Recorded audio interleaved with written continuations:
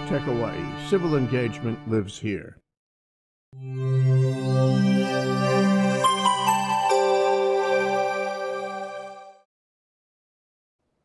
Hi, welcome to Seymour's World. I'm Seymour Kazimirski. I was going to greet you with ni hao because I just got back from China last week mm-hmm. and I was in LA the week before that and I'm finally back home and it is such a pleasure. Thank you for all your emails and your texts wondering where the hell have I been. But uh, I have been working and having fun and doing what I always do with our Make 'em Smile program and our foster kids, et cetera, et cetera. Today, we have a very, very special guest. His name is Randy Morris. And I met Randy through a mutual friend. His name is Sheldon Gross. And Randy trained Sheldon Gross. Who is Sheldon Gross? He's an 80 year old guy who thinks he's about 50. and this Randy, who I think is probably one of the, the, the best guys when it comes to fitness and training, wait till you meet him. Uh, he just makes this Sheldon do what I think Sheldon has never done in, in his life which is walk, exercise, do push ups, and all this kind of stuff. And now Sheldon actually looks like he's 50. So I'm going to introduce Randy. Thank you very much for coming on our show. Oh, no, thank you so much for having me. I really appreciate it. You have it. done an amazing job with my friend Sheldon. amazing. Uh, well, thank you. Now, I have to tell you, uh, ever since I met you, I felt we had a bond because we share something. We share youth together. Mm-hmm. And I don't mean our youth because I'm much older than you are, but mm-hmm. we share the, the need to help our youth become better citizens of the world. And the minute I heard you say that you're into that kind of stuff, I knew that we were going to become fast friends.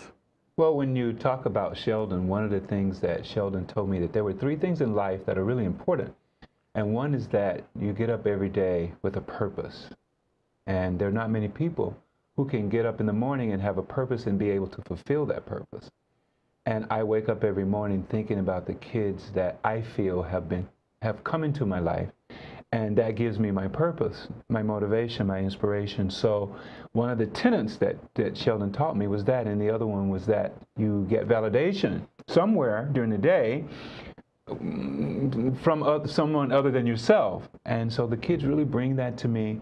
And so I'm motivated, I'm validated. And the thing, the third thing he said, which only Sheldon would say, is that you got to be happy when you go home. So all those things are true, and so that that has kept me in Hawaii. You're also tremendously dedicated. Yeah. Tremendously dedicated. Now you're a tall guy. How tall are you? I'm six foot eight. Six foot eight. Let's let's show a picture of you and me together standing. We can't stand here. Oh, there we are. Oh my God, I'm an inch taller than you. Oh, you must be six nine. I must be six nine. Because well, I'm a true six eight. Oh, you are a true yeah, six yeah, eight. Yeah. Well, uh, that is obviously not the true picture. Let's show the real picture of you and me together. Oh, that makes more sense. The chair it? is gone. Yes. that is you and me together. Yeah. Now, I am touching six feet on my tippy toes, yeah. and you are six eight, and we can tell looking at that yes, picture that yes. it's definitely, yes. definitely not the same. But it's, um, uh, you know, I felt uh, that I wanted you to come on my show because uh, your devotion is amazing to you. The minute I told you that there's a possibility that we may do a uh, basketball camp here in Hawaii, you said, I'm in, without even asking me why or how or what's going to happen. So I want to know a little bit about your history. You're from the deep south, right? Yeah, I'm from South Carolina, and I can kind of tell you why I have such a drawn passion. It's, it's, a, it's, a, it's the typical yet inspiring pay it forward story. When I was about 10 or 11 years old, I come from a farm environment environment, deep south country, and you, to play basketball and to play sports was what didn't keep us out of trouble. It kept us occupied. And I was playing one day in this, and in those days, the, the two races, Caucasian and African American, they didn't mix. They just didn't.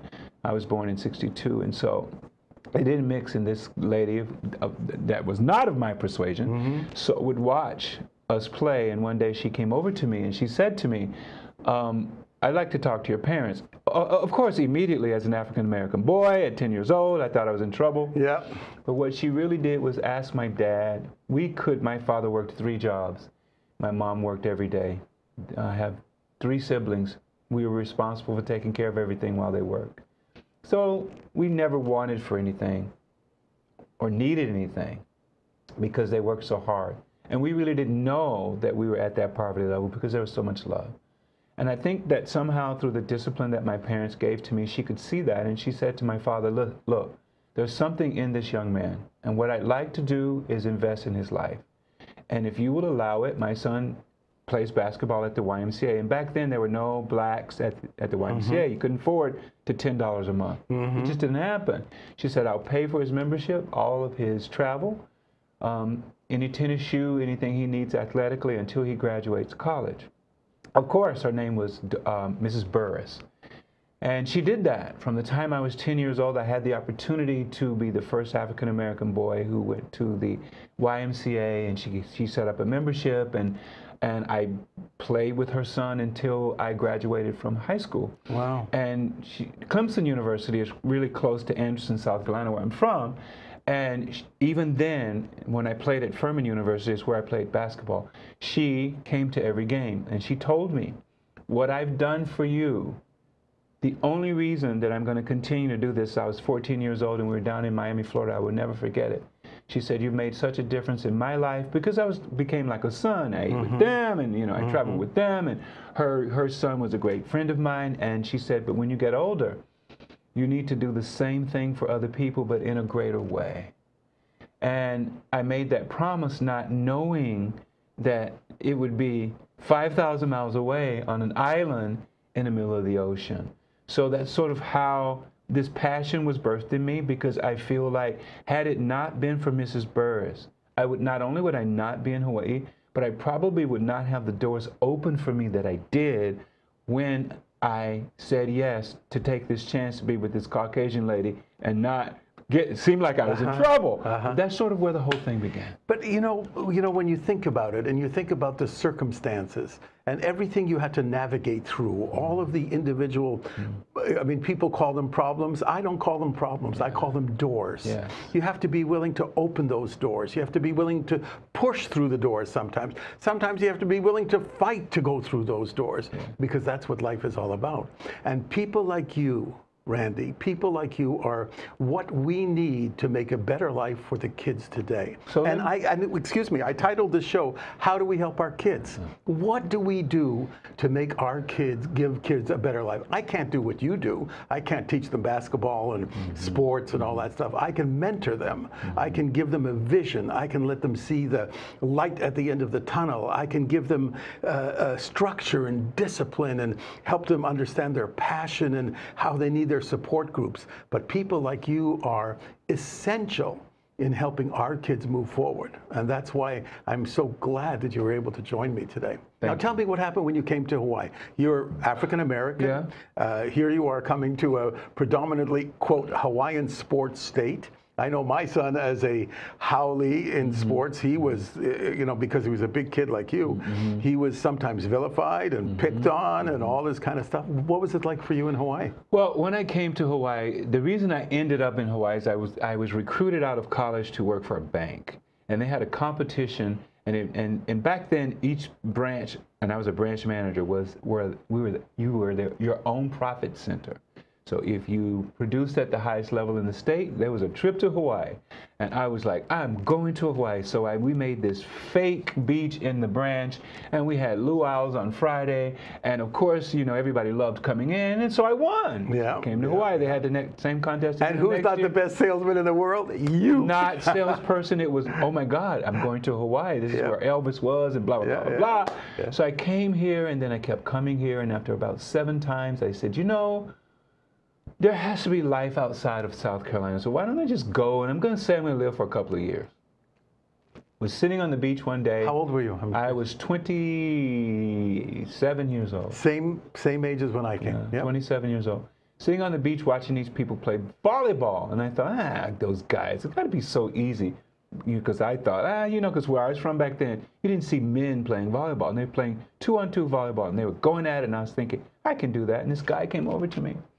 And he said, You want to join us? And I said, Nah, I don't want to. He goes, Ah, you sure you don't want to join us? And I said, Sure. I look like a complete bumbling idiot. Yeah. So that's how the story began. Then I decided nobody's going to ever make me look like that again. So I would go down to that same beach every Tuesday and Friday after work, and I would start mimicking and correcting the movements that they did. one day a girl named Bert walked up to me and she said, What are you doing? I said, I'm training to try to figure out how to play volleyball. She said, Can I join you?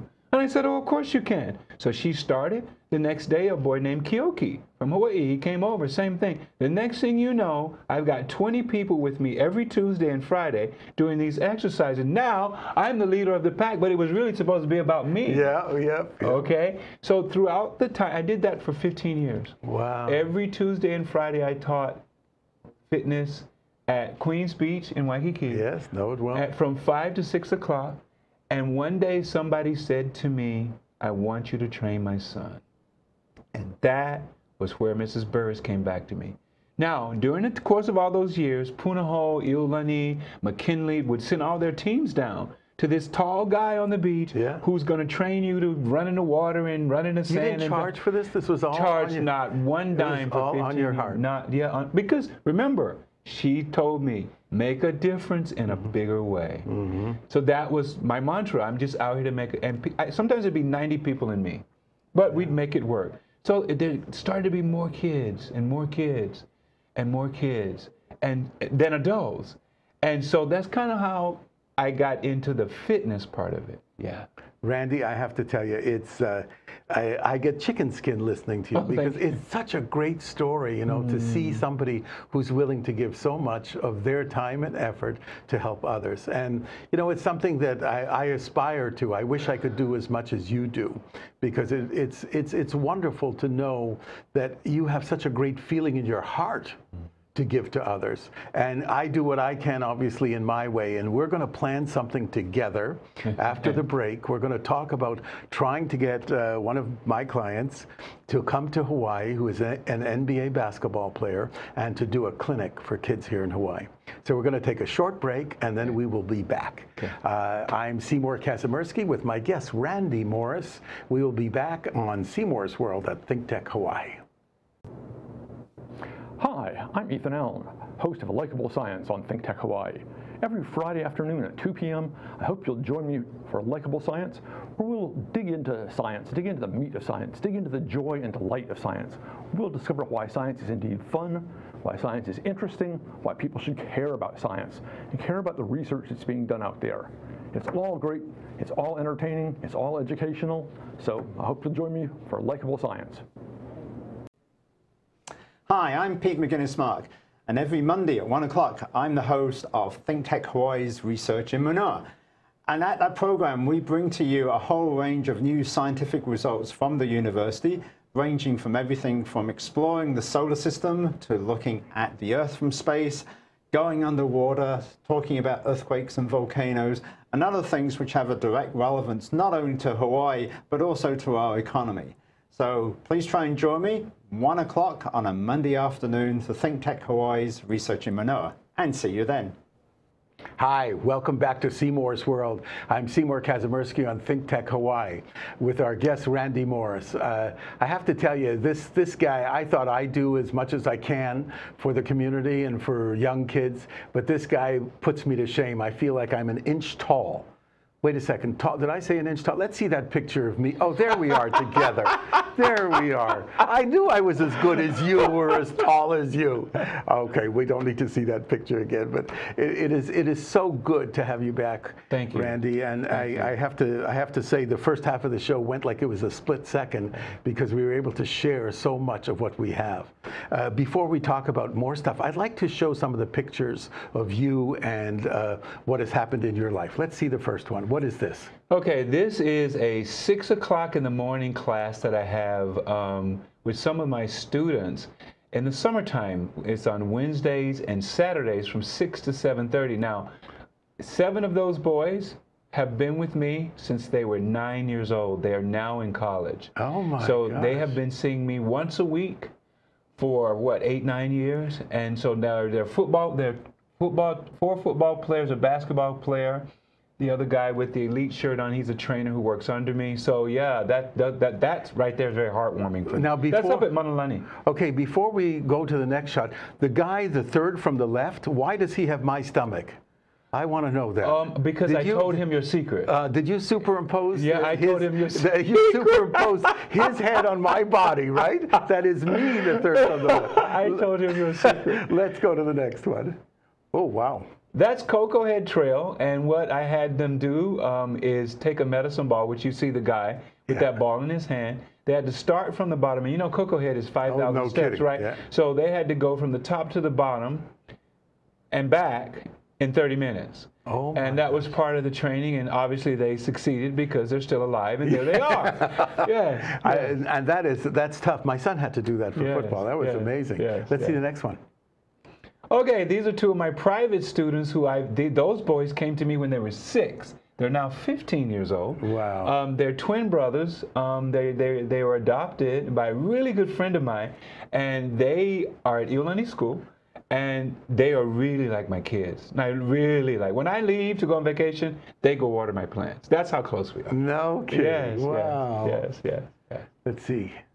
Oh, Ah, I recognize one. it. Who is he? This is Hunter Hosoda. He's a Yep. he's a running back with Punahou, and that was during their senior walk day. And that's a special kid to me because I saw him in a park and went up and asked his father, like Mrs. Burris came up to me, Yeah. if I could help him become quicker because I thought he could do better. And guess what?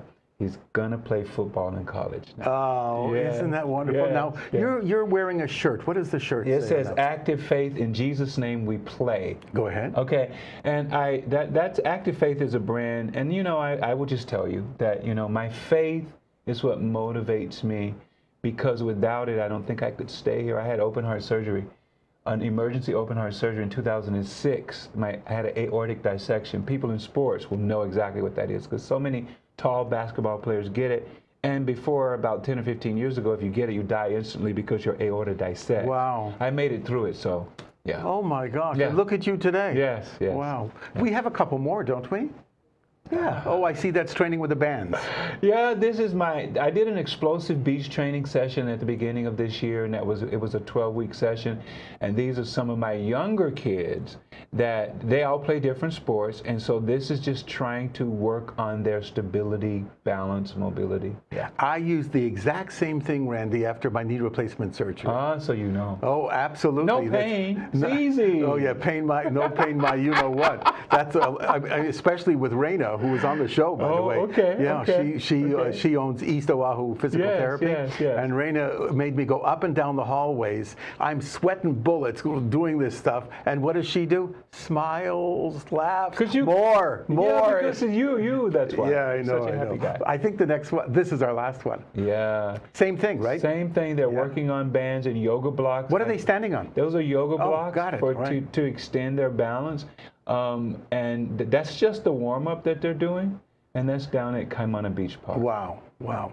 Terrific. Now, Randy, let's talk about what you're doing today for kids. Okay. What's happening today? I am, I believe that what I do is offer kids something they can't get on the internet.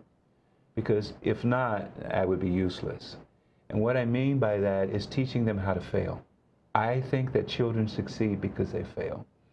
Parents trust me with their kids because I will tell you that I came from a strict Bobby Knight sort of disciplinary um, background in coaching. I'm not like that, but I do believe that that old school honor, integrity, keeping your word, commitment, perseverance is something that's often looked over in this environment because it sort of goes back to if you look at Siri. There's no process. If you look at the iPad, there's no process. Kids get answers quickly. So in my program, there is no Siri, there is no iPad, and you have to work from A to B. So what I make sure of is yes, they succeed, but I think that kids will become more successful if they learn how to fail. I think you're 100% right.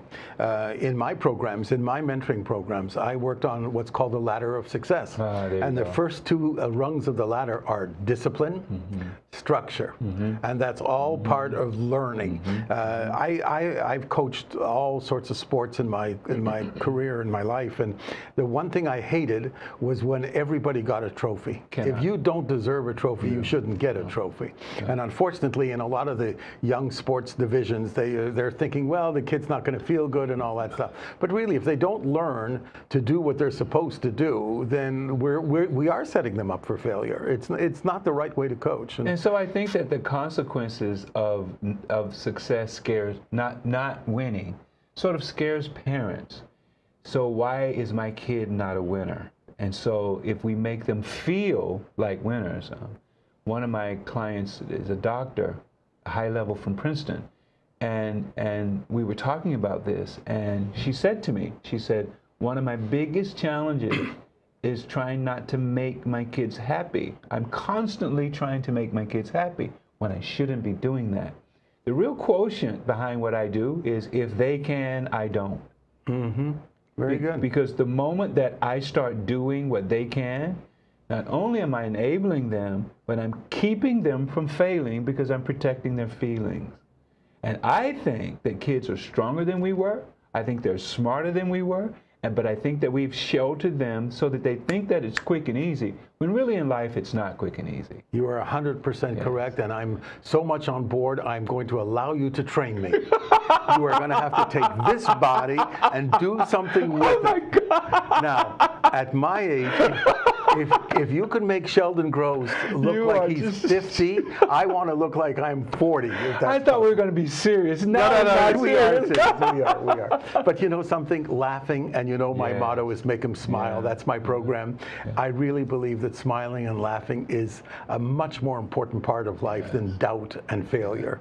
It's so important to realize that life is wonderful. Unfortunately, the negativity we have in our life, Mm. everything we see, everything we read, everything, the internet, all this kind of stuff, it's, it's really the wrong message that we need. We need to enjoy our lives more. Well, I think that that right there is also a definite quotient that I use in my training. It will be fun. We're going to laugh. We're going to have a good time. We're going to sweat. You're going to be sore, but we're going to have fun because of the adrenaline and the joy and the excitement that comes into your body when you're happy. And if I'm not happy, my client's not happy, it's a horrible experience. So that laughing thing is probably what I'm known for, as well as being a disciplinarian, because I am. I'm not going Well, to. I see you every Saturday morning. So you know. At seven o'clock. Yes, you do. Uh, this guy, this guy walks up uh, to our tennis courts because I play every morning, every Saturday morning at seven. And here comes Randy with Sheldon.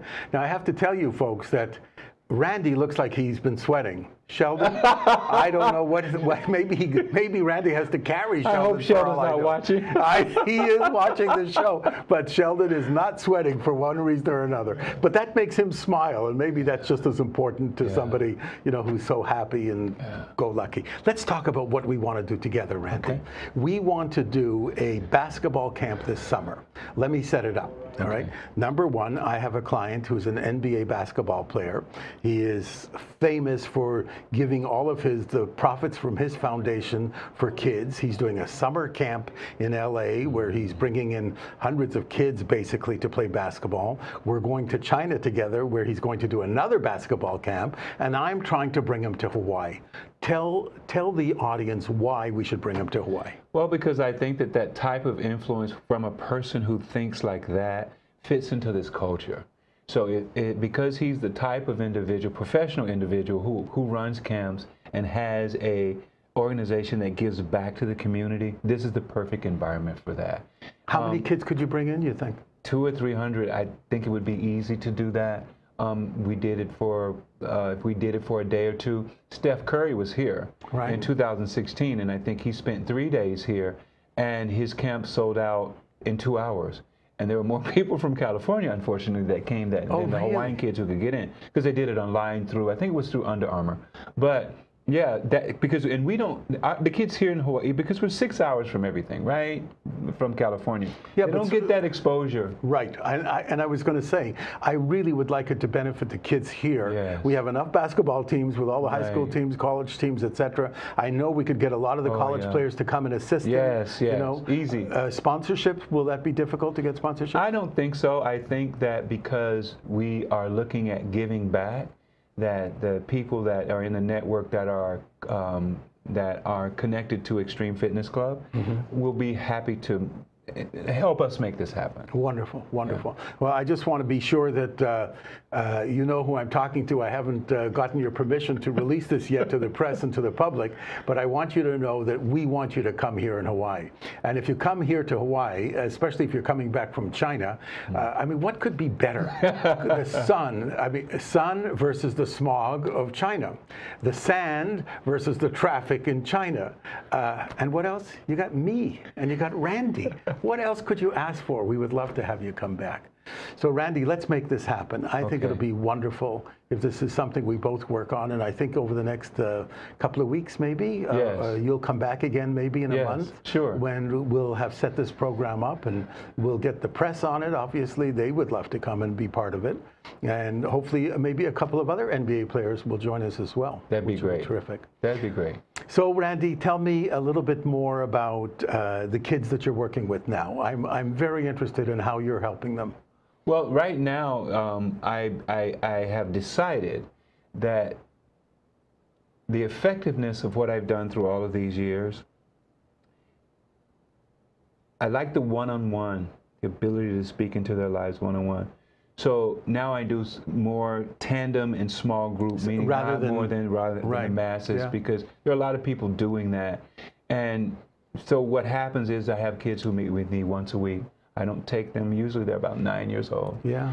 Unfortunately, um, because of my personality, I end up with them I, until they graduate college. So they meet with me once a week. It's a very disciplined environment. Um, before they come, I send a plan to the parents. They know exactly what's going to happen. They get homework every week. If they don't do their homework, there's a consequence for that. I think that's really important. Here's what I think that there is a way to understand what we call fear, but let's use the word respect.